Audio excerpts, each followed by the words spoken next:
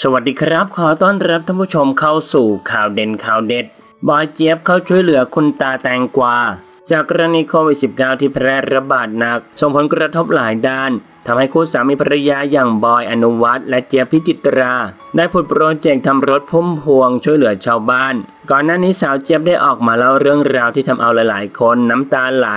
ของลุงแตงกวาระบุว่า วันนี้ลุงเดินมาตอนที่รถกับข้าพวกเรากำลังเก็บของกลับ เพราะของหมดแล้วลุงพูดว่ามีอะไรเหลือให้ลุงบ้างไหมลุงขาไม่ดีเลยออกมาช้า จริงๆ แล้วของทุกอย่างหมดแล้ว แต่มีแตงกวาถุงหนึ่งที่ทีมงานซื้อไว้จะเอาไปทานเอง แต่ก็ตัดสินใจถามลุงก่อนทีมงานพูดว่าเหลือแต่แตงกวาแค่นี้ครับ แต่เดี๋ยววันหน้าพวกเราจะกลับมาอีก จะเก็บของไว้ให้ลุงครับลุงตอบว่าแตงกวานี่ก็ได้อีกหลายมื้อเลยหลาน ดีกว่าไม่มีอะไรกินขอบใจมากที่มานะ ทีมงานตอบว่าเราจะกลับไปอีกนะลุงล่าสุดเจี๊ยบบอยได้เจอคุณลุงแตงกวาแล้ว สารต่อความช่วยเหลือหลังเพราะว่าตอนนี้คุณลุงป่วยหลายโรคมากๆเลยทีเดียว โดยในอินสตาแกรมส่วนตัวของสาวเจี๊ยบได้ออกมาโพสต์ภาพพร้อมระบุข้อความว่าและหลายคนเป็นห่วงคุณลุงสวัสดิ์ลุงแตงกวาถามมาหลายช่องทางเลย วันนี้มาเล่าให้ฟังแล้วนะคะ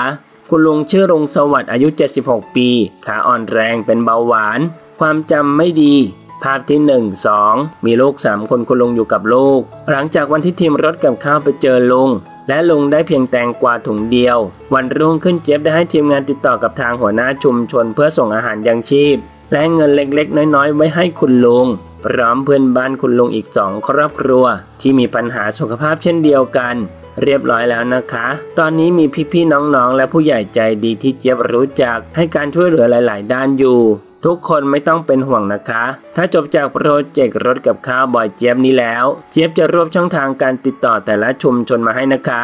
เพื่อว่าเพื่อนๆคนไหนมีใจอยากช่วยเหลือแบ่งปัน จะได้ช่วยเหลือคนไทยด้วยกันกันต่อไปค่ะ หรือถ้าใครอยากสอบถามถึงชุมชนไหนในตอนนี้ สามารถสอบถามได้ที่เพจ Boy Peacemaker นะคะ ขอบคุณค่ะ น่าชื่นชมสุดๆเลยครับ ยังไงก็ขอให้คุณลุงได้รับความช่วยเหลือเยอะๆนะครับท่านผู้ชมนะครับ มีความคิดเห็นอย่างไรกับเรื่องนี้ลองแสดงความคิดเห็นกันเข้ามาดูนะครับ ขอขอบคุณข้อมูลจากขอบข่าวขอบคุณครับ